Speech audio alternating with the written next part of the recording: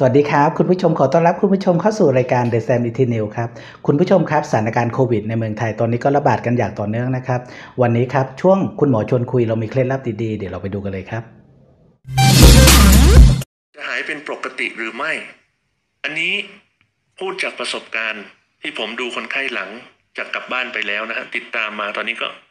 ยาวสุดที่มีในมือก็สี่เดือนละนะครับ แล้วก็พูดจากข้อมูลที่มีที่ผมอ่านหรือว่าที่เขาสรุป เป็นมาตรฐานนะฮะส่วนใหญ่เลยนะครับ อยากให้เรารู้ว่าส่วนใหญ่ อยากให้สบายใจตรงนี้ว่าหายเป็นปกตินะครับ แทบจะไม่ค่อยเหลือร่องรอยเลยนะครับ พอเราติดตามคนไข้ไปสามเดือน ค่อยๆหายเอง นี่คือความโชคดีมากๆเลยนะครับ แม้กระทั่งเป็นผู้ป่วยที่มีความเสี่ยงสูง หรือคนไข้ที่เป็นหนัก พอติดตามไปสามเดือนก็ดีครับ หายเอง ผมเองก็มีคนไข้นะหลายคนนะ เชื่อว่าถ้าเราฟังคลิปนี้อยู่ก็คอมเมนต์ได้นะครับ ที่เป็นหนักมากนะครับ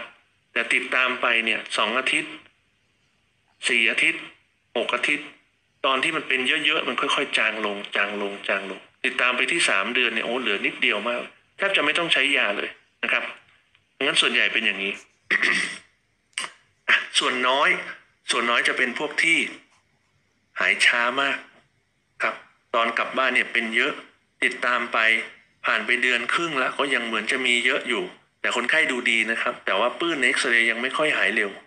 นะครับ พอติดตามไปถึงสามเดือนแล้วเนี่ย